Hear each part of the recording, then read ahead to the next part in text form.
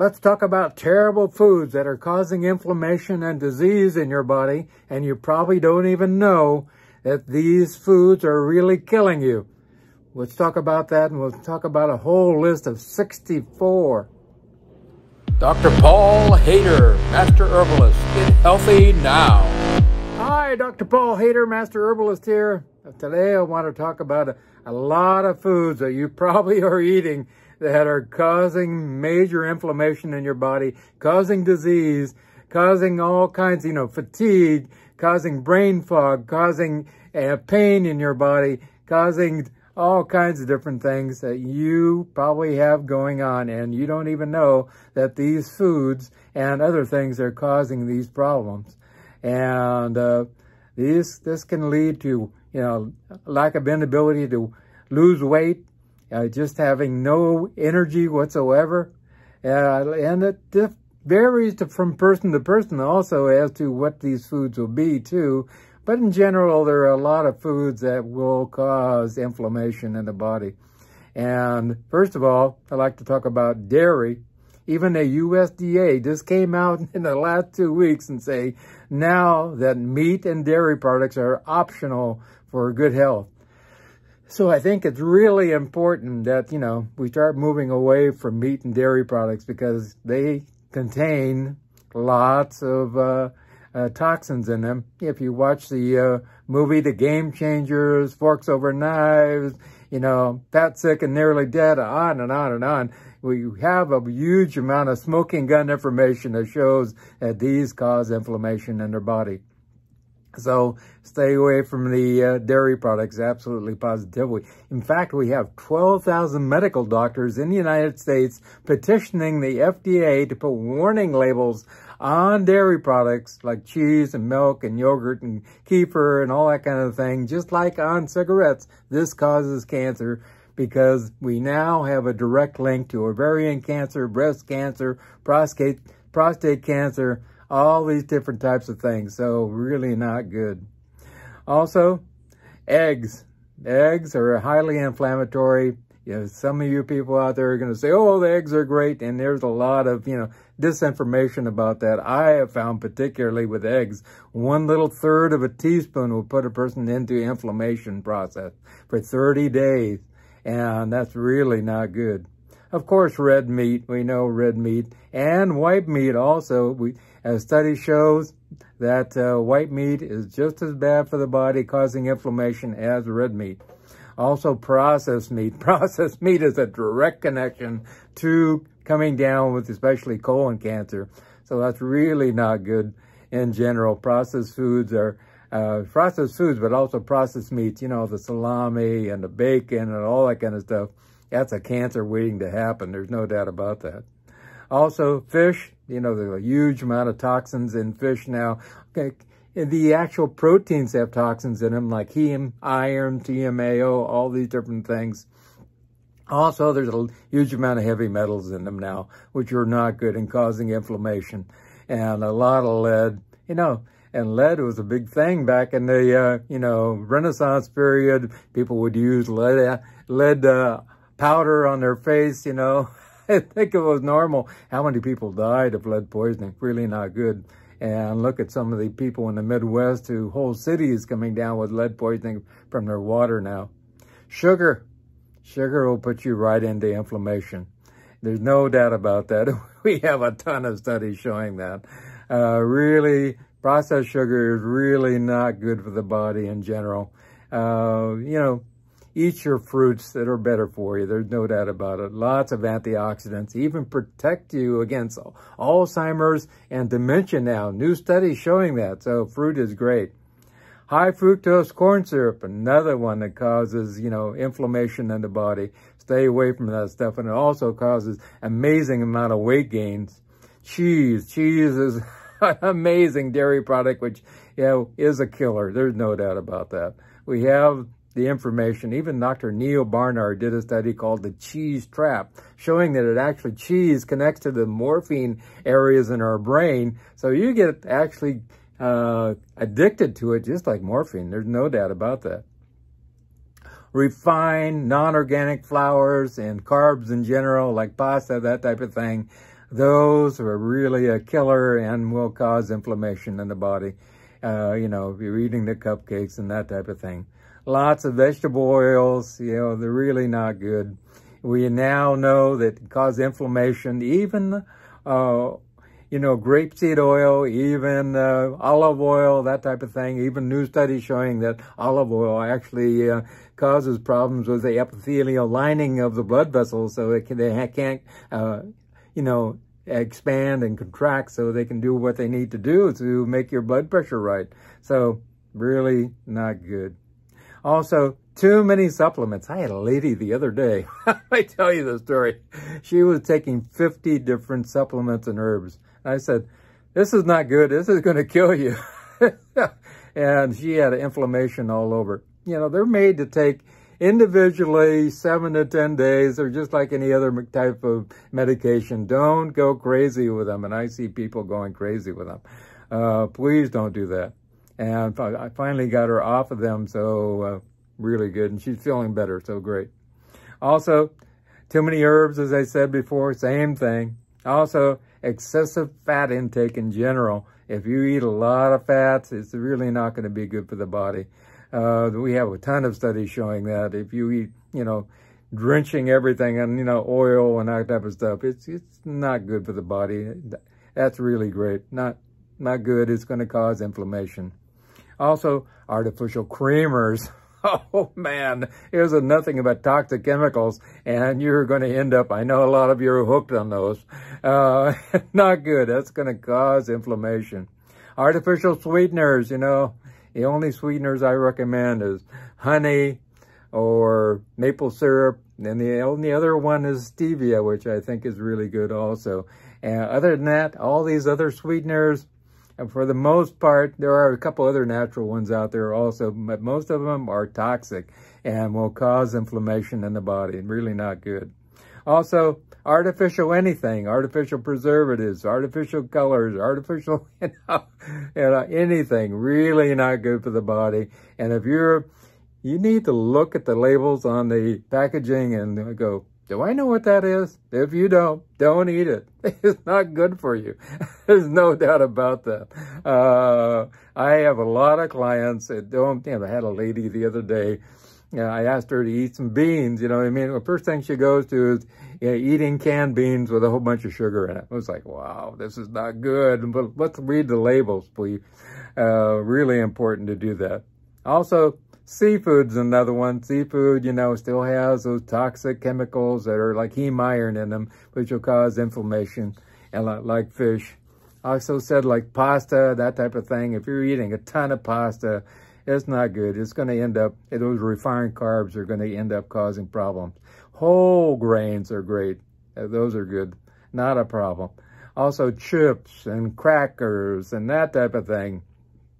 I know somebody that that's their normal thing to eat in the evening is chips and crackers and that type of thing. Really not good. It'll cause inflammation, cause problems with your, your liver, cause problems with your kidneys, all kinds of things. Really, when your cholesterol is going to go through the roof also. Really not good. Uh, also, they use a lot of trans fats and those type of things. Really not good. Uh, also, anything that's been, you know, processed and sitting on the shelf, Whole Foods don't last that long. They're not made to last for 10 years or five years or two years. Uh, they're supposed to be eaten. I figure it this way. If it's in the produce section, it's good. If it's on the shelf somewhere, it's not good. Pretty simple. Alcohol in excess, there's no doubt about it. It will cause problems, kill off the microbiome in your body, and that's really not good. Uh, so everything is connected to those probiotics in your gut. So, and that'll cause inflammation also. Coffee, you know, I uh, started doing coffee probably in my early 20s. And by my late 20s and early 30s, I had really a lot of lines, which I don't have now. And I go, wow, what's going on? And uh, it was inflammation. There's no doubt about it. So I, I stopped it altogether and I stopped the caffeine also. Now I have an occasional decaf organic uh, iced coffee, and it seems like iced coffee doesn't bother me hardly at all, and I'm drinking decaf at all, all the time, and just one cup in the morning. Also, tea, you know, I was a teaaholic early in my years too. Uh, I loved tea. You know, it was one of the things I used to do for a long, long time. And I gave it up because just in general, I just all of a sudden became allergic to it. And that was causing inflammation in my body. So you can become allergic to just about anything and that will cause inflammation. Excessive salt. You take a ton of salt. Just do this for yourself. Take a ton of salt and see how your joints feel afterwards. It's not going to be good. You're going to have a lots and lots of inflammation. Uh, keep the salt to a minimum. Oh, chocolate. That's another thing I don't get along with. You know, I can take a small piece of chocolate, just uh, no milk in it, just uh, vegan, organic chocolate. I'll be fine. The second piece, I'm going to have problems with.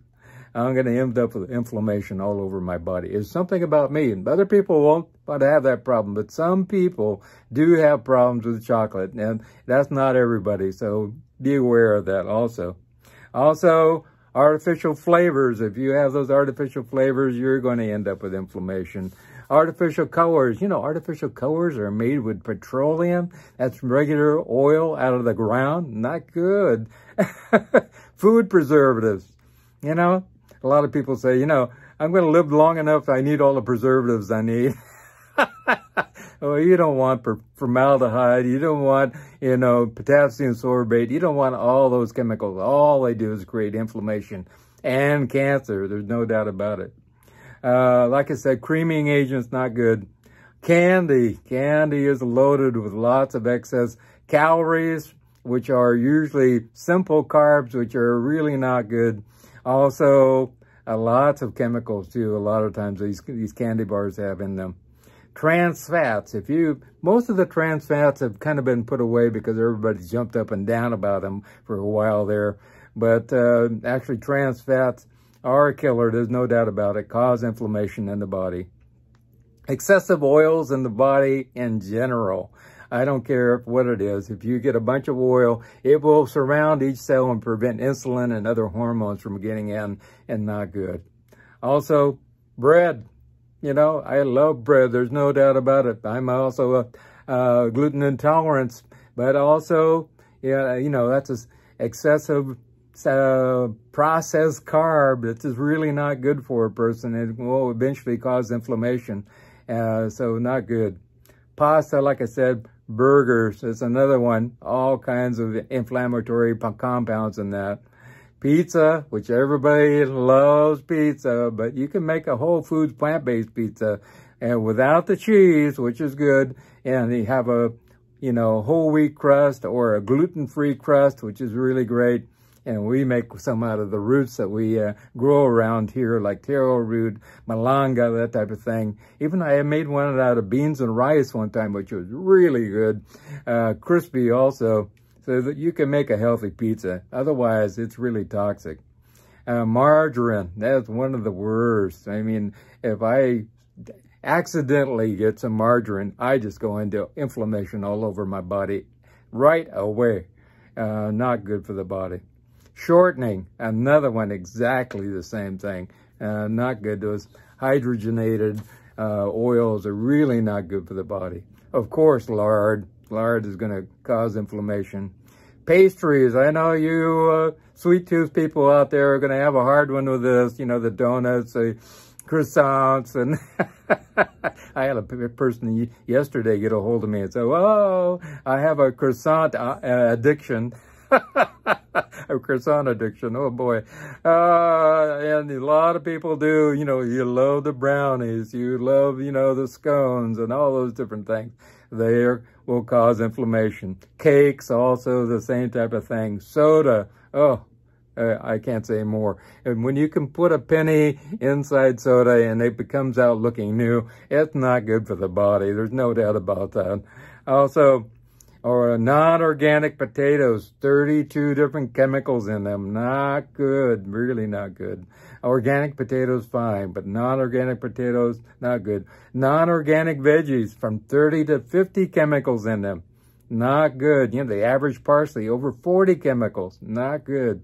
So eat, eat organic. Peanut butter, a lot of people have problems with peanuts in general and they have an allergic reaction to it. And some people to peanut butter also and nuts in general and they become highly inflamed. And some people it's a, you know, a life-threatening process going on. So that's a big thing and nut allergies in general. Uh, some people soy. I get, I eat a lot of soy and I don't have any problem with, with it whatsoever, but I make sure it's organic and I find it's really good for you. If you watch the movie, you know, uh, the Game Changers, you'll see that it actually locks into estrogen receptors, but it's not estrogen and prevents estrogen from locking in. So it actually prevents cancer, and that's why you don't see the amount of cancers in Japan and China, and Singapore, and different places that eat a lot of soy, organic soy, I hope. Also, nightshade vegetable, vegetables like uh, tomatoes. You know, I eat a ton of tomatoes. I don't have any problem with them whatsoever. Eggplant, you know, peppers, things like that. Some people have a reaction to that type of thing. I have found personally that these people are toxic. And once they uh, get uh, all that toxin out of their body, they don't have a problem with it whatsoever. But, you know, be aware that these can cause inflammation in the body fried foods and oil. Oh, boy, boy, boy, boy, boy. Really a lot of inflammation going on. there. If you you like french fries, you're headed for a lot of inflammation. There's no doubt about it. I love french fries too, but we do ours in an air fryer, really great, without the oil at all. And tap water. Tap water nowadays in the United States and around the world is toxic, lots of chemicals. Even where my mom lived, they couldn't even drink the water. It was so toxic. Uh, really not good. You need to have some kind of filter going on.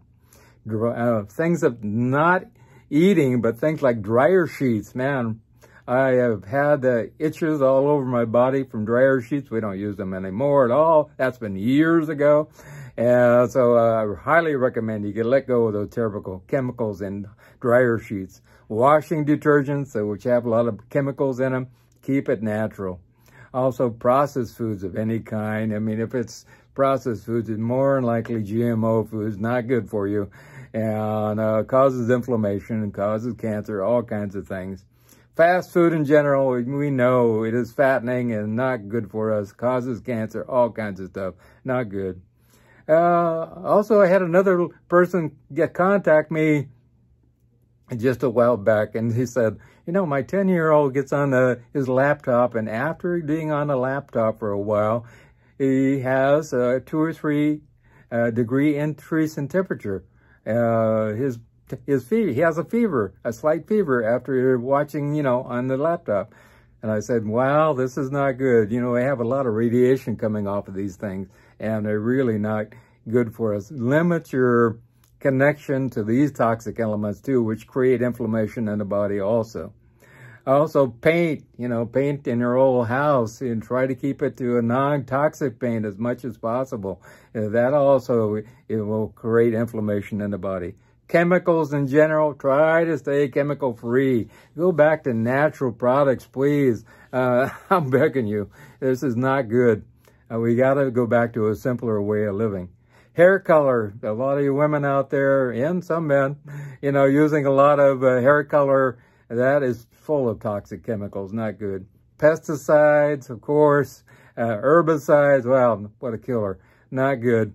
Uh, so inflammation leads to disease. And if you have some deadly process going on, uh, probably more than likely got started with some kind of inflammation from some kind of food or some kind of chemical or something going on. Listen to your body and make a list of all these things. Eat a food. 15 minutes later, write down how you feel. Eat a food. 15 minutes later, how you feel. Do this daily and it'll take in you know, your body's wisdom. It's going to tell you a lot, but you really need to uh, allow yourself to understand it. You may be allergic to something that nobody else is allergic to. And maybe you're allergic to bananas. Well, I've had that happen. And people, people were allergic to, you know, onions. I have a friend, Bruce, which is deathly allergic to onions. Uh, people allergic to garlic, all kinds of things. So make a food diary and keep a connection there. Like I said, everybody is different.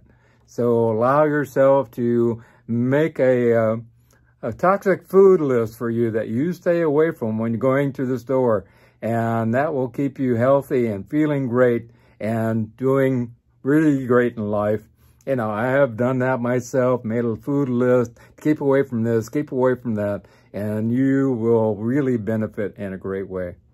If you want to do a consultation with me, all my contact information is at the end of the video or click on show more and it's down below. I ask for a $50 donation and we get you on a road to becoming really healthy. I also throw in from the goodness of my heart actually supporting you for one year on your process of getting there.